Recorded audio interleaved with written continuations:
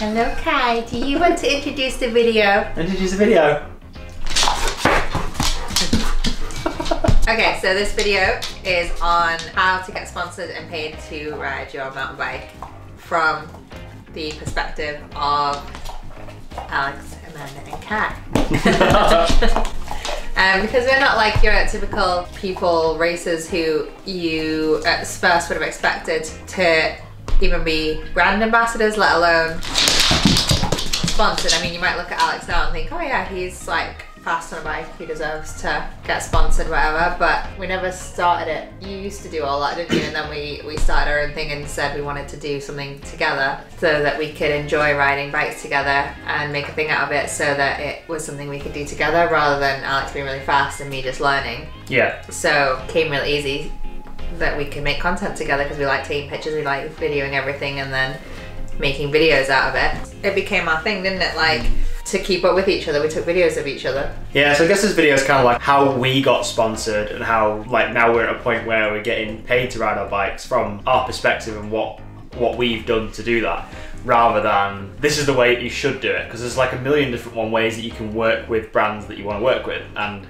get whether you want to get free gear or you actually want to get paid to do it there's a million one ways to do it so we just thought we'd give you some insights and knowledge into how we've done things and hopefully it can inspire and motivate you to do the same The most common comment that I've received is there's so many better riders that should be sponsored instead of you. And well, they could be if they had done things the same way that we did and most likely done amazingly out of it. It's just they didn't do the things necessary to be sponsored other than just be amazing on a bike. In this world, it takes more than just being amazing at something because people aren't going to see it if it's not put right in front of their face. Yeah, yeah, true. well, I suppose you may as well talk a bit about some like misconceptions of sponsorship because I think a lot of people get that end of the stick not wrong, but like think about it kind of differently, and there's some things that don't really line up. The first misconception is that you people think you have to be amazing on a bike or you have to be really fast on a bike to get sponsored or to get paid to ride your bike, which really isn't true. It helps. It can helps help. a lot if you're like in the top what ten percent. it can help, but it can help, but it doesn't mean that you have to be amazing on a bike or the fastest bike racer. You don't, you don't even have to race to get sponsored uh, in this day and age to get paid to ride your bike. Another misconception that you need millions of followers on Instagram or YouTube or whatever to get sponsored. I think that's kind of incorrect now as well. Thousands, starting at one thousand. You could Micro influencers are better. Yeah. Yeah, people are saying now that micro influencers, so people like who have like a smaller following of people, maybe hundreds, thousands, not you know maybe even tens of thousands of people, as against like millions of followers, where you actually have a close knitted connection with a lot of those subscribers, which is kind of like what our YouTube channel's like. Really, I mean, the YouTube channel that you're watching this on now has got what, as of recording this, like five thousand.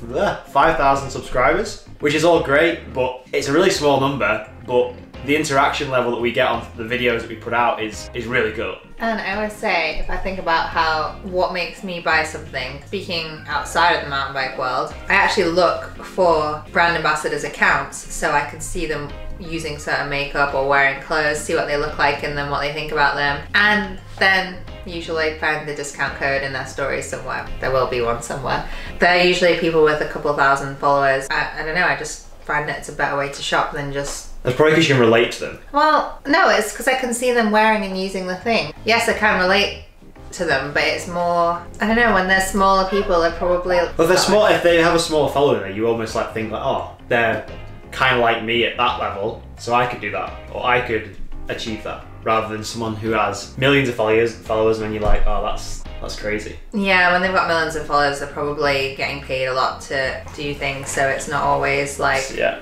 Millions of honest yeah, you don't need millions of followers. Again, you don't need to race a mountain bike, which seems to be a thing of the past. I think you, we could probably still get paid to ride mountain bikes and create content without me doing bike races and stuff. Enduro bike racing offer both of us. It's just a fun thing that we do together, or I enjoy racing and the competitive side of things. So, as against that, I'm, there's there's plenty of people out there, including ourselves, kind of like you don't need to race to get paid to do what you love, to get paid to ride a bike. I couldn't have really done what we do if all we did was racing because I mean, I like races. I think they're like big pre-organized routes where there's feed stations along the way and with your mates. So it's just like a big planned day out for you to get better on your bike. But Yeah. I can't make myself care about the competitive side. You don't need to race to, to get sponsored. And then the final little point here about misconceptions we've got is that sponsors will actually come to you. Like if you're, you know, they'll, they'll come to you basically. I'm always in the strong mindset that you have to go out there and get what you want. It's very rare that a sponsor or a brand will approach you unless you have obviously millions of people who follow you as a huge audience or something really amazing to offer. It's just very rare that sponsors will come to you. Even if they're following you or you're friends with them or you've met them and you might be perfect for what they want, they'll generally not approach you until you say something to them first. Yeah, you have to spark the conversation. You have to get the, the fire lit, which we're going to show you how to do actually. So if we move on from misconceptions, it's always cool to look about before you even start thinking about going and talking to every single mountain bike brand, even outdoor adventure sort of brands that are out there because you want sponsorship and stuff. It's always good to look at yourself first and ask yourself, like, so what is it that's unique about me? Like what what what can I offer to other brands? Because that ideally is what is going to separate yourself and make you different and make you appealing to a brand to work with. If you start there thinking like, oh, I, I don't have anything unique about me, every single person in this day and age if they want to get sponsored or be a brand ambassador or something, has something unique about them. For example, us, I'd say that something about unique about us and the dog is that there's a couple who ride mountain bikes with a big white German Shepherd. That's that's kind of our unique We've got unique things about us each. about each of us that Yeah. I guess I mean probably have to let us know in the comments why if you're a, a- like a regular follower of our videos why you Yeah. watch them but Let us know in the um, comments. like for me my niche because I don't race. I, I've always liked to just session and progress on my bike and try harder or more technical things and sort of document it. That's how I started growing my Instagram following and I still try to stay true to that because it's still what I love doing more than anything is Document your progress. documenting my progress because it's going to be never ending on a mountain bike so Yeah, yeah, for sure. and people jive with it. People are also watching you. They want to progress, so they want to watch you. They want to like it's almost they're on the journey with you, kind of thing. So that's kind of like the, the your uniqueness as well as you being good looking. And you now move now. Amanda's moving into this. You've got this whole thing with like female, this whole free ride, female free ride movement. So like doing, you know, learning to jump better, drop, Oh, that sort of stuff. Yeah, that's part of my progression thing. Me and my friend just like to go find progressively bigger things to jump on Yeah. bikes.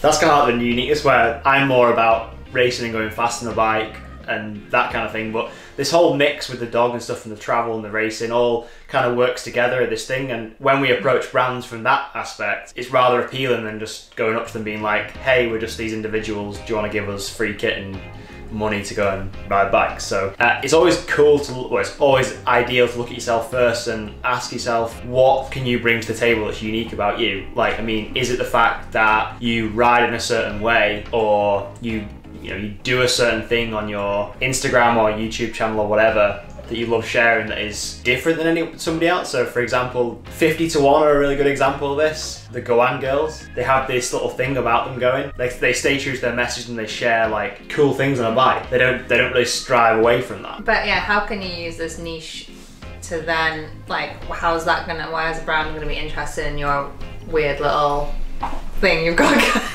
um, yeah, I guess you might think what it is about your unique thing that a brand would even want. That's uh, what you've got to figure out first because what is sustainable. Because if, if you're one of these people that's on a ride and like, oh, I don't I don't want to take photos, I, I, don't want to stop and get a video. Let's just enjoy the ride. Content creation probably isn't going to work for you. You need to enjoy taking pictures and enjoy stopping and sessioning something to take a video. Because if you enjoy it, then it's not just work. It's just fun, and then you can keep doing it because It could be, I mean, it could be anything though. I mean, that's kind of true for me and you, and a lot of people that we hang around with, that and all these people we just talked about. But your little super niche could be like, say for example, you love customizing your bike set. You know, you don't. It doesn't always have to be about the actual riding of something. Say if you love making videos of custom built bikes, for example, that's that's a niche in itself. There's there's literally a million and one things you could do, but there is always something special and unique about every single person who watches this video who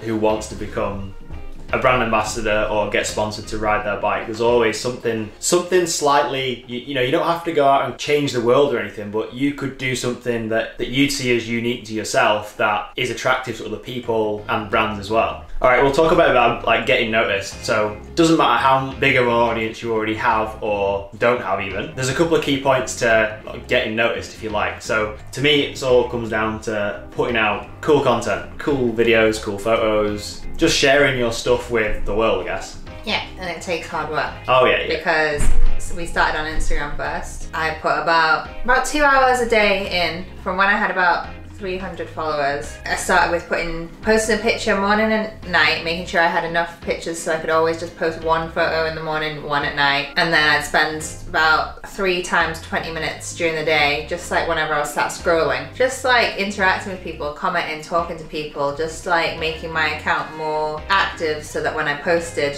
more people would see my post because I'm out there interacting with the people, and then obviously the people I'm interacting might want to come and see what what I was doing. I always always made an effort only to like things that I actually was like, oh, that's cool, that's cool. Basically, yeah, fair enough. It was a lot of anything, anyone out there riding their bike, anyone out there progressing. I found a lot of cool people to follow by doing this. As my Instagram channel grew and I got remained consistent, it obviously got noticed. Same was with you, wasn't it? It's the same with everything. You just gotta be consistent, put out good stuff engage your audience. Uh, again, doesn't we're talking our, about our journey here specifically. So we did primarily start off on Instagram because that was kind of like the platform we wanted to choose and use. So to share videos and photos on it, so it's a great place, obviously. In, again, Instagram might not be your thing. Your thing could be YouTube, but it's the same principles that apply. You have to put out good content, stay consistent to it, and you always have to engage with your audience and go out there and engage and interact with an audience that is in your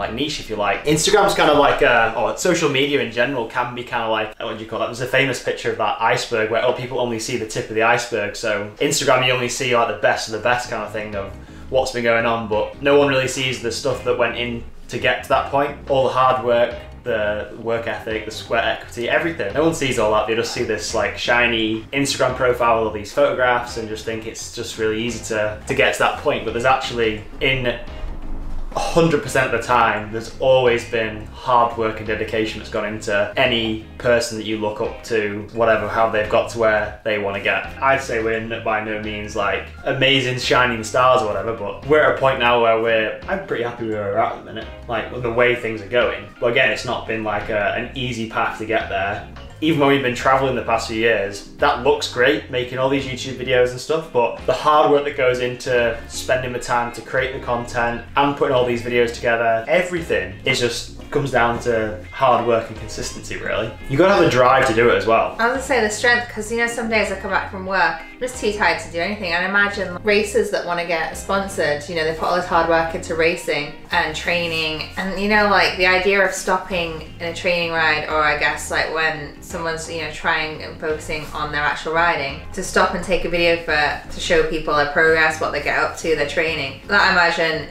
is similar to when I feel really like I don't want to even touch yeah. the camera because I'm so tired. Usually, if you've got a deep mm. passion for something, it doesn't. Of course, it's going to feel like work sometimes, but the passion should almost pull you towards where you want to go, kind of thing. As well as that, I think you've got to think about figuring out who you want to work with, who, who you'd love to work with, because of course you could go and contact and get in touch with every single mountain bike brand or adventure brand or even you know any brand on the planet.